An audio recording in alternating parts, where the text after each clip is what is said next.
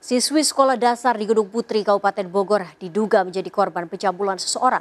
Modus yang dijalankan pelaku adalah berpura-pura menanyakan alamat yang dituju. Korban yang semula akan mengantar justru jadi korban pencabulan.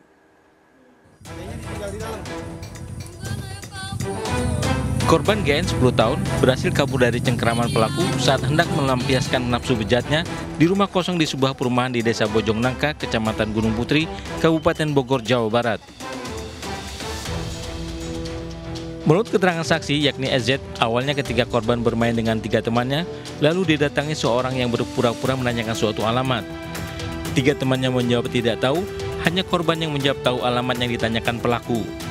Korban pun diminta pelaku untuk mengantarnya. Tanpa curiga, korban lalu naik ke sepeda motor pelaku dan setelah dibawa berputar-putar, pelaku membawa korban ke rumah kosong di perumahan elit.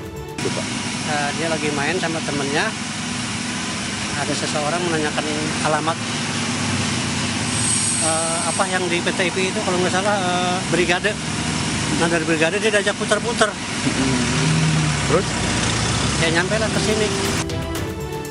Dengan diantar anggota keamanan perumahan, pihak keluarga mendatangi Polsek Gunung Putri untuk melaporkan kejadian yang menimpa anak perempuannya.